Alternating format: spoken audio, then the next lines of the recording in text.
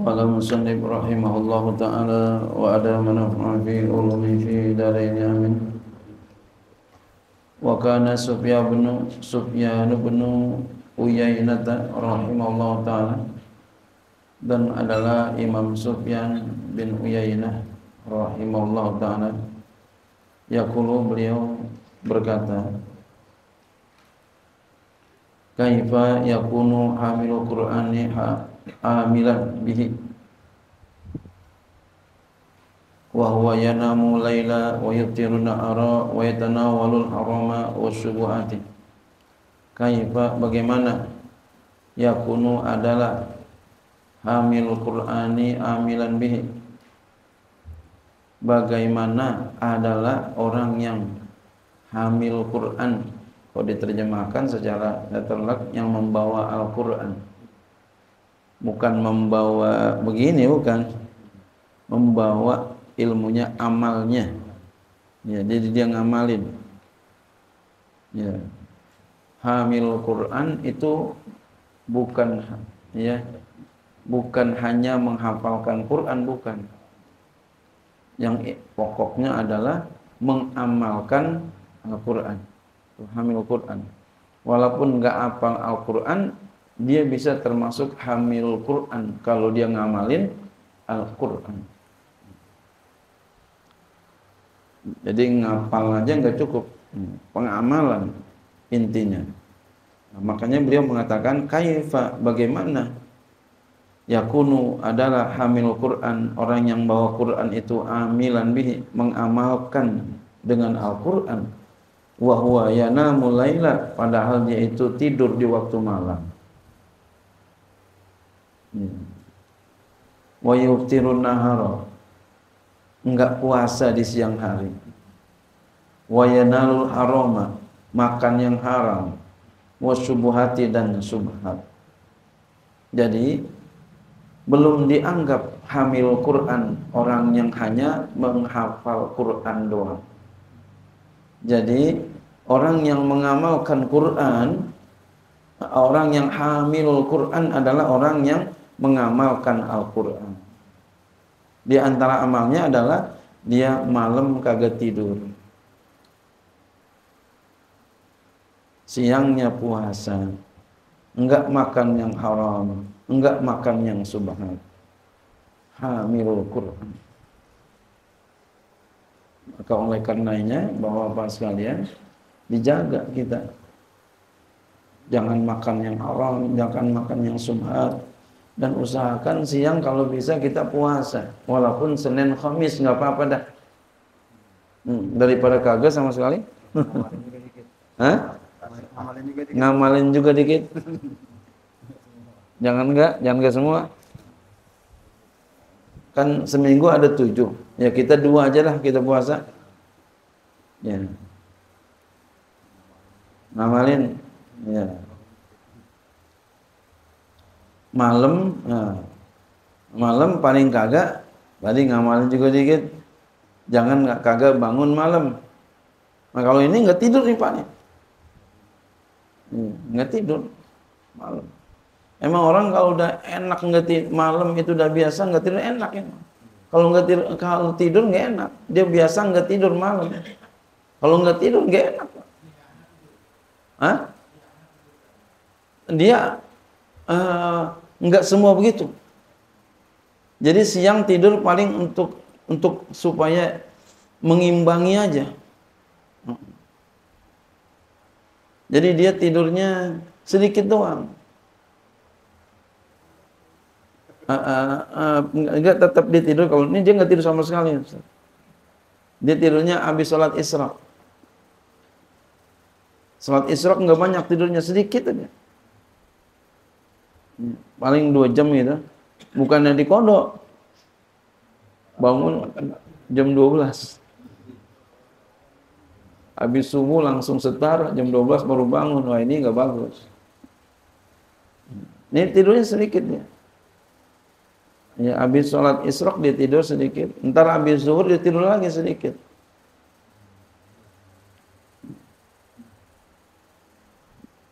Supaya apa? Ntar malam bisa gadang lagi.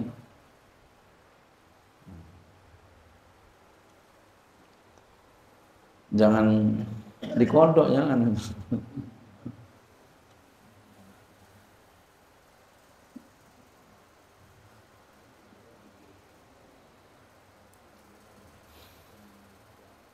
Wa kana Umar bin Abdul Aziz dan adalah Umar bin Abdul Aziz rahimahullah taala yaqulu beliau berkata lau anna haula'il qurra'a ahya lawajadu alaman nari jikalau bahwa mereka ahli qura hidup niscaya mereka mendapati pedihnya api neraka. Pedihnya api fi butunihim pada perut-perut mereka. Hmm. Jikalau mereka ahli kura. Ahli kura di sini maksudnya ulama. Dulu kata guru saya, Kiai Syafi Azami, kalau kura dulu itu maksudnya ulama. Hmm. Jikalau bahwa mereka ahli kura, mereka hidup, niscaya mereka mendapati pedihnya api di dalam perut mereka. Ida akalu laroma apabila mereka makan yang haram. Kalau mereka ulama. Walakin akan walakin nahum akan tetapi mereka itu amwatun yartauna akan tetapi mereka itu mati. Yartauna fil jif fil jifi wan nari yarta'una fil jiyafi wan nari ya jifi ya, ya, sinkron dengan dengan wan nari oh, itu jama. Ya ada lugah lain jifnya ya. jifatun sebenarnya mufrad juga. Jifatun jiyaf hmm. bangke. Bangke itu busuk bau. Akan tetapi mereka itu mati. Ya lagi mereka itu ya ya yang hidupnya mewah berkecukupan. Mewah lagi berkecukupan. Fil jiafi ya, fil jifi dalam ya kebusukan wanari dan neraka api. Sehingga mereka tuh enggak merasakan itu. Karena mati gitu. Ya akan tapi mereka mati. Mati mana mereka hidup mewah mati tuh. Dalam kebusukan dan api neraka. Jadi enggak merasakan walaupun makan yang haram. Jadi walaupun makan yang haram jadi biasa aja Ya kalau orang yang istimewa makan yang haram keluar, Pak. Langsung muntah. Langsung buang-buang air. Oh. Enggak cocok. Itu baru ulama. Kalau ngendep di dalam itu belum jadi ulama. Dia makan masih ngendep di dalam yang haram itu. Nah, itu belum jadi ulama. Masya Allah. Hah? Ulama dunia. Ada orang begitu. Jadi kalau dia makan ini, itu langsung buang-buang air. Atau muntah. Oh dia makan muntah. Padahal dia lagi lapar, lagi buka puasa, tapi makan muntah nembak gitu. Ada yang keluar aja loh. Ya. Perutnya langsung mulas, makan langsung mulas. Nolak. Ya. Tubuhnya nolak. Nah itu baru ulama.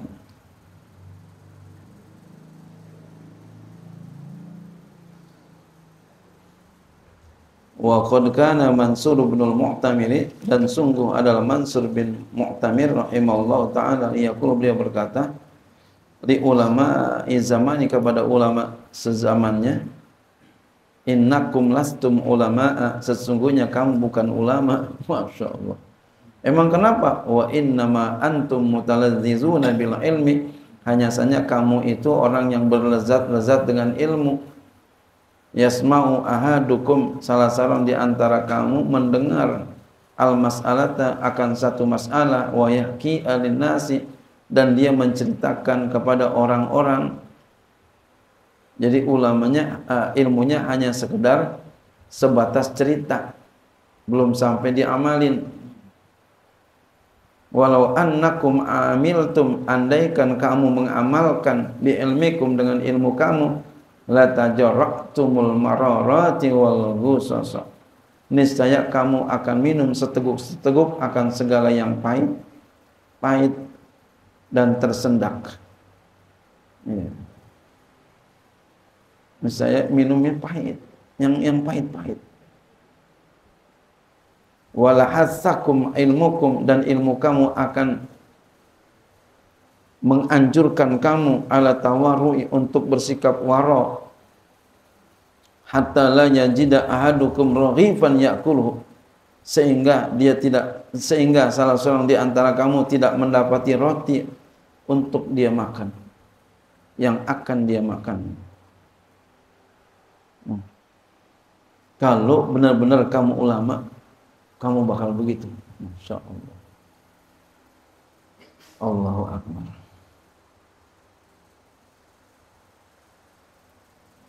Jadi kalau nyari ulama begini susah banget ya.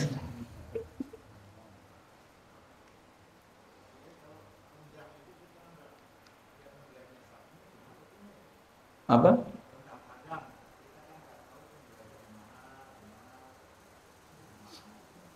-uh.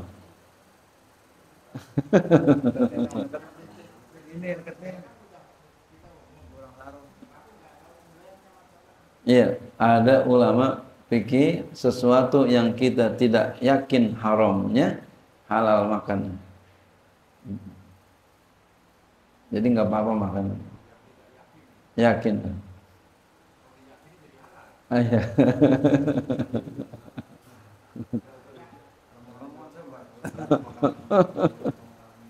iya.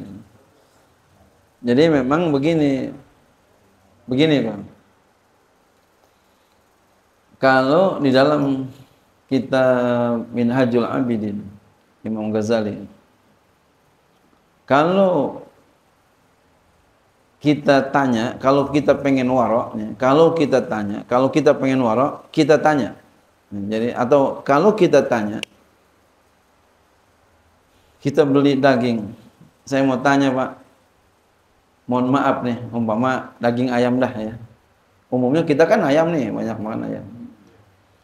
Ya, kita pengen sikap warok. Nah, kalau kita pengen warok, kita tanya, mohon maaf Mbak, kira-kira ini ayam ayam hidup dipotong atau ayam mati dipotong?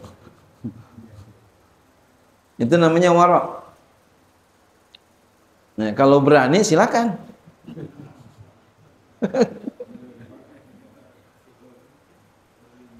istri saya pak itu Umi di rumah tuh istri dia tanya itu orang tukang sayur mohon maaf Mbak Mar namanya Mbak Mar saya mau nanya nih nanya apa Umi ini ayam ini ayam kira-kira Mbak potong sendiri apa gimana nih Kata Mbak Marnya, saya potong sendiri. Umi katanya, oh, masya Allah. Itu warok gitu. Ya, kalau berani silakan, nggak bagus itu, nggak apa-apa. Mohon maaf dulu, mohon maaf dulu ngomongnya. Yang kedua, ya, ya, kita nggak tanya, tapi kita nggak yakin kalau itu haram. Ya, kita enggak yakin kalau itu haram. Kita lihat apa adanya. Nah, itu ya namanya dia termasuk syar'i. Kenapa? Karena kita enggak yakin haram. Ya, jadi enggak yakin haram halal. Jadi nggak pakai nanya lagi, makanya jangan ditanya kalau itu kalau mau begitu. Ya. Nah, yang waro tadi. Jadi yang kedua ini termasuk syar'i. Kecuali pada umumnya udah datang berita kalau daging di situ nggak benar. Nah, kita makan juga nggak pakai nanya lagi, nggak pakai nanya lagi, salah kita.